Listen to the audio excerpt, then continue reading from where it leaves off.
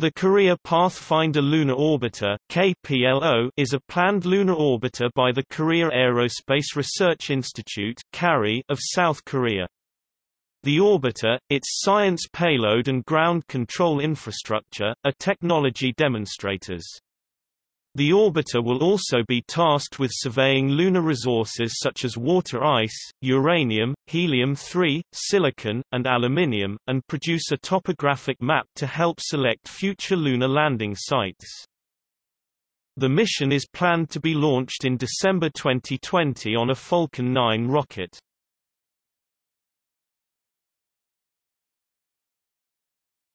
Topic. Overview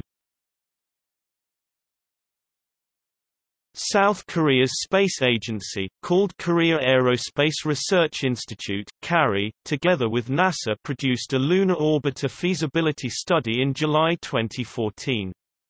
The two agencies signed an agreement in December 2016 where NASA will collaborate with one science instrument payload, telecommunications, navigation, and mission design. The Korean Lunar Exploration Program (KLEP) is divided in two phases. Phase 1 is the launch and operation of KPLO, which will be the first lunar probe by South Korea, meant to develop and enhance South Korea's technological capabilities, as well as map natural resources from orbit. The key goals of the KPLO orbiter mission are the investigations of lunar geology and space environment, exploration of lunar resources, and testing of future space technology which will assist in future human activities on the Moon and beyond. The launch is expected in 2020. Phase 2 will include a lunar orbiter, a lunar lander, and a 20 kg rover, to be launched together on a KSLV-2 South Korean rocket from the Naro Space Center, in 2025.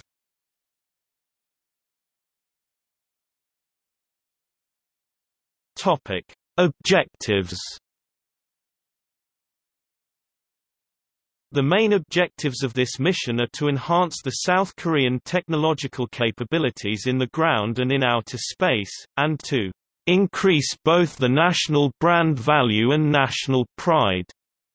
The specific technological objectives are Development of critical technologies for lunar exploration produce a topographic map for support to select future lunar landing sites, and to survey lunar resources such as water ice, uranium, helium-3, silicon, and aluminium. Development and validation of new space technologies. From the lunar science perspective, understanding the water cycle on the Moon is critical to mapping and exploitation.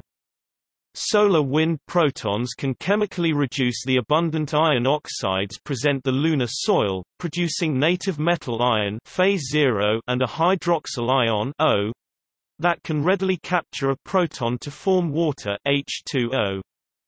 Hydroxyl and water molecules are thought to be transported throughout the lunar surface by mysterious unknown mechanisms, and they seem to accumulate at permanently shadowed areas that offer protection from heat and solar radiation.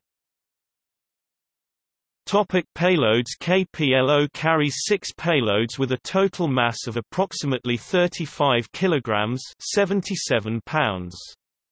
Five instruments are from South Korea and one from NASA. Lunar Terrain Imager (LUTI) will take images of probable landing sites for the second stage lunar exploration mission and special target sites of the lunar surfaces with a high spatial resolution wide-angle polarimetric camera (PolCam) will acquire the polarimetric images of the entire lunar surface except for the polar regions with medium spatial resolution in order to investigate the detailed characteristics characteristics of lunar regolith.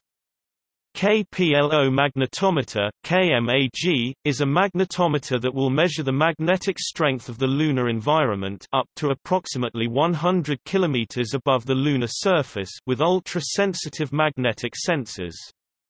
KPLO gamma ray spectrometer KGRS, is a gamma ray spectrometer that will investigate the characteristics of lunar resources including rare elements and minerals, and map their spatial distribution.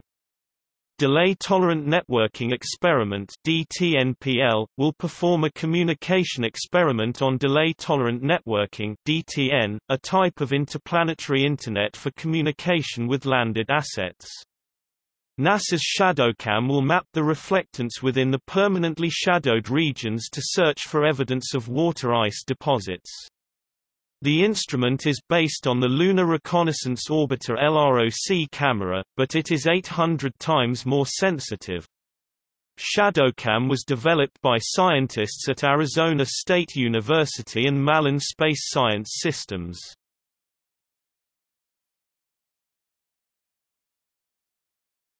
Topic: Launch. Originally planned for a December 2018 launch, KPLO is now scheduled for a December 2020 launch on a Falcon 9 rocket. The orbiter will perform at least three highly elliptical orbits of Earth, each time increasing its velocity and altitude until it reaches escape velocity, initiating a trans-lunar injection. After launch, it will take the spacecraft about one month to reach the Moon.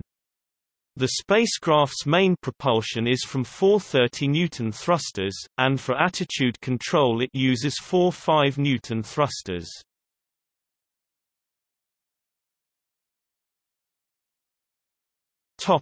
See also